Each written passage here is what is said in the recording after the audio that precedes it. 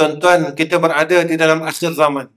Saya tak nak cerita tentang akhir zaman. Saya tak nak cerita tentang Al-Mahdi. Saya tak nak cerita tentang Dajjal. Saya tak nak cerita tentang Ya'jud Ma'jud. Saya cerita, saya tak cerita Dajjal akan keluar. Saya cerita, saya tak cerita Ya'jud Ma'jud akan keluar. Saya cerita, saya tak cerita kita telah hampir kepada fasa yang terakhir. Kurun yang terakhir. Yang saya nak cerita, kenapa kita tak nak berubah lagi? Kenapa kita masih tak nak berubah lagi? Datanglah kurun fasa yang terakhir. Datanglah Dajjal. Datanglah Ya'jud Ma'jud. Dengarlah cerita tentang Dajjal itu fitnahnya terlalu dahsyat dan ramai orang tewas dan sedikit yang selamat daripadanya tapi kita tak nak berubah.